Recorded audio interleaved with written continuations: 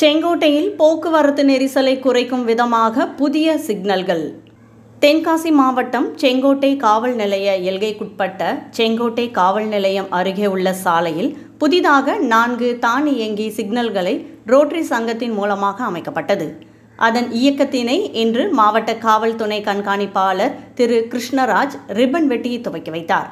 இது குறித்து மாவட்ட காவல் கண்காணிப்பாளர் பேசுகையில் வாகனம் ஓட்டும்போது தலைக்கவசம் சீட் பெல்ட் போன்றவை அணிந்து சாலை விதிமுறைகள் மற்றும் சமிக்ஞைகளை பின்பற்றி நடந்தாலே விபத்தில்லா பயணம் செல்லலாம் என கூறினார்.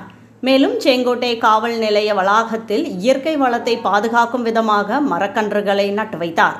இந்நிகழ்ச்சியில் தென்காசி உட்கோட்ட துணை காவல் கண்காணிப்பாளர் மணிமாறன் செங்கோட்டை காவல் ஆய்வாளர் ஷியாம் சுந்தர் தென்காசி போக்குவரத்து ஆய்வாளர் பிரபு காவல்துறை அதிகாரிகள் ஆளுநர்கள் மற்றும் ரோட்டரி சங்க நிர்வாகிகள் ஷேக் சலீம் ரமேஷ் பாபு சிதம்பரம் உட்பட முக்கிய பிரமுகர்கள் கலந்து கொண்டார்கள்.